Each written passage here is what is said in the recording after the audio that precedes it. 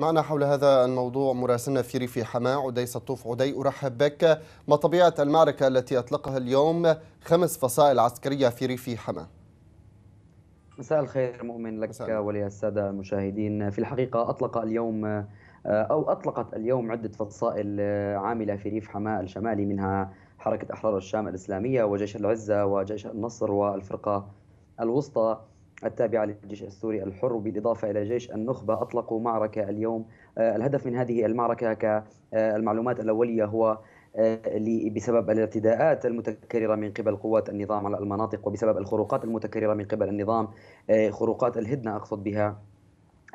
بدأت اليوم مؤمن استهدافات متقطعة للجيش الحر على نقاط قوات النظام في بريديج وفي تل الصخر. الهدف الثاني من هذه المعركة هو السيطرة على منطقة على منطقة بريديج ومنطقة كرناز في ريف حماة الشمالي بالإضافة إلى نقطة آه، تل الصخر الاستراتيجية أيضا في تلك المنطقة. قام اليوم الثوار باستهداف هذه المناطق بعدة قذائف مدفعية وبصواريخ الجراد بالإضافة أيضا إلى تدمير قاعدة ميم دال بصاروخ تاو من قبل الفرقة الوسطى في على قاعدة بريديج العسكرية. تلاها مؤمن استهدافات متكررة لقوات النظام بالطيران. آه، شن اليوم الطيران الحربي أعتى غاراته على ريف حماة الشمالي بشكل عام. من أهمها مدينة كفر زيتا ومدينة اللطامنة بالإضافة إلى طيبة الإمام والحميرات بالإضافة إلى قرية التوبة وتلهواش أيضا في ريف حماة الشمالي. شن عدة غارات آه، بالصواريخ الفراغية بالإضافة إلى الطيران المروحي.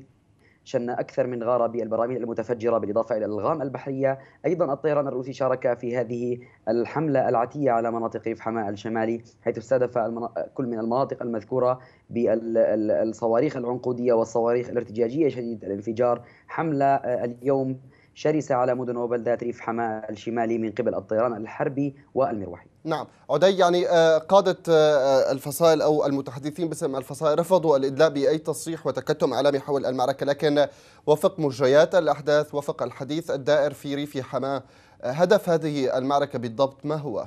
يعني التوجه نحو يعني ريف حماة الشمالي الغربي أم ريف حماة الشمالي الهدف بالتحديد؟